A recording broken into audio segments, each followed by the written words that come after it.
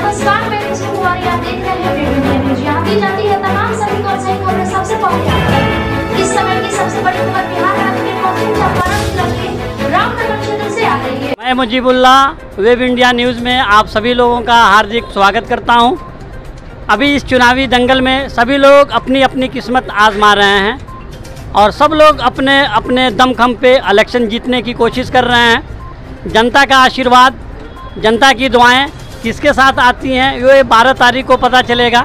लेकिन ऐसे ही एक उम, सभापति के उम्मीदवार से मैं आप लोगों को रूबरू कराना जा चाहता हूँ। मैम आपका शुभ नाम? रीमा देवी। रीमा देवी। ये आप रीमा देवी हैं। आप किस चीज़ के लिए इलेक्शन लड़ रही हैं? सभापति के लिए। जी। आप सभापति नगर परिषद रामनगर के सभापति के लिए इलेक्शन लड़ रही हैं क्योंकि ये महिला आरक्षित सीट है इसलिए आपको बाहर आना पड़ रहा है। जी। जी जी। चलिए बहुत अच्छी बात है कि आप इलेक्शन लड़ें जनता का आशीर्वाद आपको मिले और आप विजयी बने। जी सर आपका शुभ नाम? श्री राम नारायण सागोड़। श्री राम नारायण शाह गोड़ जी आप प्रतिनिधि हैं रीमा देवी के। आप पति भी हैं और उनका प्रतिनिधित्व कर रहे हैं। बहुत अच्छी बात है।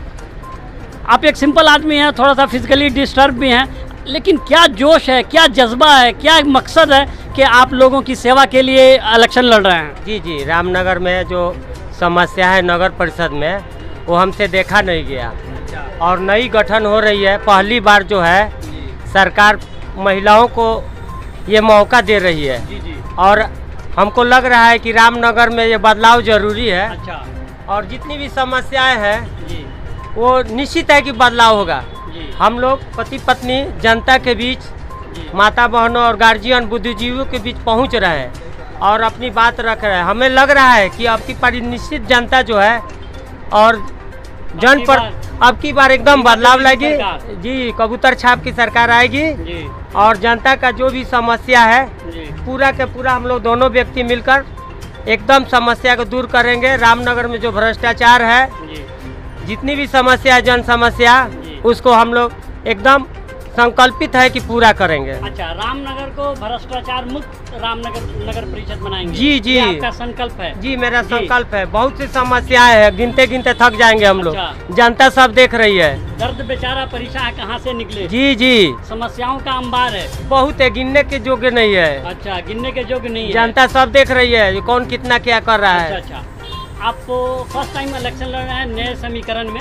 जी जी। इससे पहले समाज सेवा का कोई अनुभव या कुछ आपने किया है? जी जी हम दिव्यांग संघ के अध्यक्ष भी रहे पूर्व में। अच्छा। जिला अध्यक्ष रहे। जी। अपना एनजीओ भी चलता है युवा शक्ति सेवा संस्थान। जी।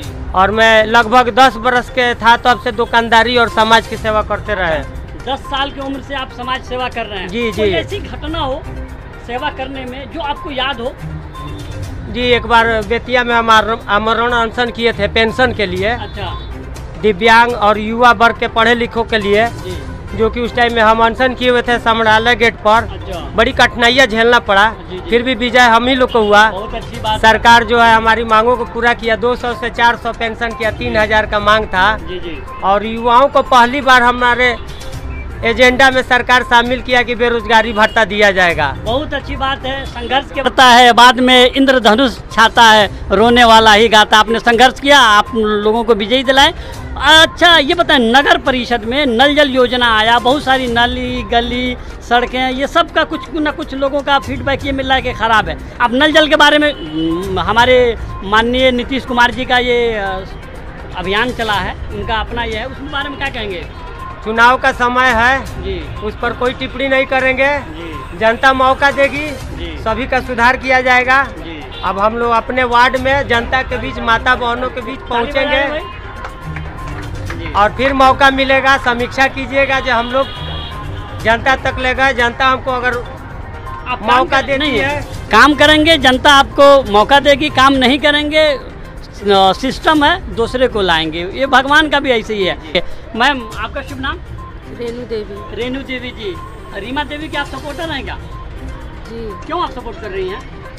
आप कैमरा के सामने कर रही हैं कि हम सपोर्टर हैं? क्या बात है? क्या खूबी है इनमें? क्या खूबी ये है कि ये लोग सुधार करना चाहते अच्छा हैं। सुधार करना चाहते हैं। तो ये अच्छी बात है। अच्छी बात है। इसलिए आप इनको सपोर्ट कर रही हैं। चलिए अच्छी बात है कि आंटी आपका शुभ नाम? बहुत बढ़िया सपोर्ट बाटे अच्छा, बहुत बढ़िया ये लोग के गुट बाटे ये लोग काम करिए लिए हाँ, सपोर्ट हाँ, करते कार करिए। चलो बहुत अच्छा बात बा। आपका नाम सर? मोतीलाल शाह। मोतीलाल शाह जी। आ, आपका क्या ओपिनियन है इनके बारे में? ओपिनियन ये है कि देखिए आप रामनगर में कहीं भी निकलिएगा तो ना सड़कें हैं ना बिजली है ना खंबा है सिर्फ़ खंबा लटका हुआ है उस पर कोई बिजली बल्ब नहीं। अच्छा। और ना मैं यहाँ से मंदिर जाने के हाँ। और यहाँ से मंदिर जाइएगा यहाँ से 10 साल 20 साल कितने लोग आए गए।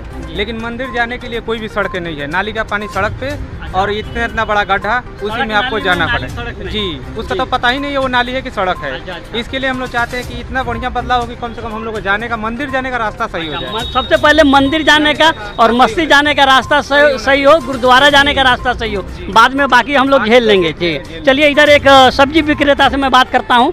अ, कैमरामैन जरा इधर दिखाएँ। हाँ सर आपका शुभ नाम? विनोद शाह। विनोद शाह जी आप क्या काम करते हैं? हम सब्ज़ी बेचते हैं। सब्ज़ी बेचते हैं। आपको नगर परिषद में कोई ऐसी समस्या हो जिसके लिए आप बदलाव चाहते हैं या जो पहले हैं उनको चलाना चाह रहे हैं? सर हम लोग तो गरीब आदमी है कमाना खाना खाने जाने जाना कमाते खाते तो सब लोग हैं गरीब सब लोग हैं। आप कोई भी व्यक्ति सोचता है कि अच्छे आदमी को चुन समझते हैं आजकल जब जी जी। जी बा, बाज़ार के बारे में आप बाज़ार में रहते हैं इसके बारे में कोई समस्या है या सब कुछ ठीक ठाक है? क्या बोलेंगे बाज़ार में हम तो आज हैं कल नहीं रहेंगे। आप आज हम हैं कल नहीं रहेंगे ये तो मौत जिसकी आएगी वो चला जाएगा। इसके बारे में नहीं बोल रहे। हम रोड पर आज ही रहे हैं। आ कल नहीं रहेंगे। ये रोड तो गवर्नमेंट का है। तो हम लोग मांग करते हैं अस्थाई मिलने वाला। बहुत पहले एक आवाज़ आई थी लोगों की तरफ़ से कि सब्ज़ी मार्केट के लिए नगर परिषद कोई जगह इंतज़ाम करे और आप लोगों को अस्थाई वहाँ से ये हो। यह आवाज़ रामनगर से भी उठी थी नरकटियागंज और लौरिया में भी उठी थी। हाँ आप इसके बारे में क्या कहना चाहेंगे? जी सर हम हमको मालूम हुआ था कि हाँ ये हम लोग को दुकान मिलेगा।